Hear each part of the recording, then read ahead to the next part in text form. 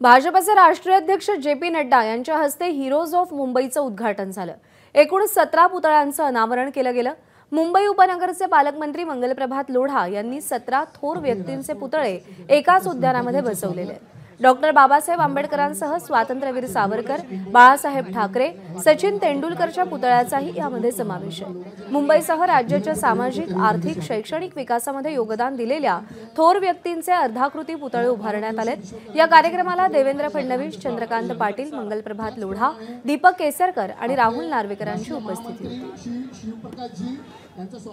मी श्री मंगलप्रभात लोढाजींना सांगेन की त्यांचं स्वागत करायचं आहे.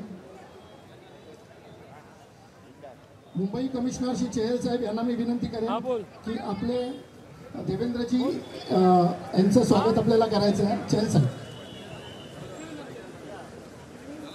प्रदेशाध्यक्ष श्री बावनकुळेजी यांचं स्वागत आपले डी वॉर्डचे असिस्टंट कमिशनर श्री शरद उगाडेजी करतील. मी त्यांना विनंती करेन की त्यांनी त्यांचं स्वागत करायचं आहे.